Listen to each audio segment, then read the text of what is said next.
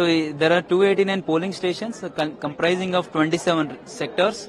Each sector has a sector officer who is having a magisterial power. So each sector officer has around 10 to 9 to 12 polling stations for each sector. So they are all located in the urban premises. So within these premises, at any to any polling station, uh, they can reach at least within 20 to 25 minutes at maximum.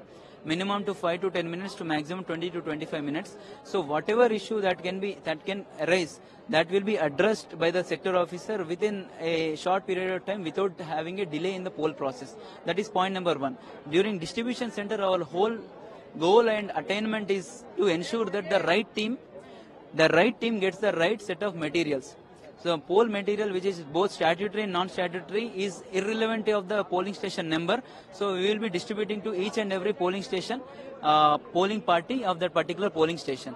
When it comes to EVM, it will be delivered at the last by the concerned sector officer carefully so that the right PS gets the right EVM set. So once this is done, the goal of this particular distribution center is attained. Once this is done, they will be going to the concerned bus where the route numbers are labeled in the concerned bus numbers. So they will be entering into the bus and then the route officers are also, also been assigned. The route officer will be going from polling station number one and polling, then it will be going till the last polling station.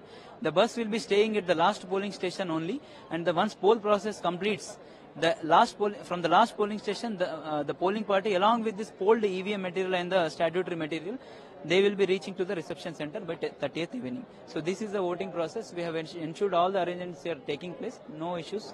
Uh, if there is any issue also there is a control room established so they can be calling to us directly to me also they can be calling to uh, calling and I will be available 24 7 right? Please we have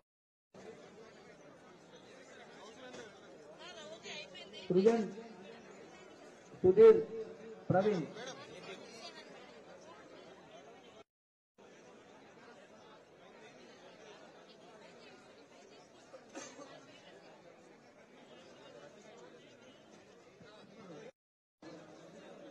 Principal room report చేయాల్సిన కోరుతున్నాం sir.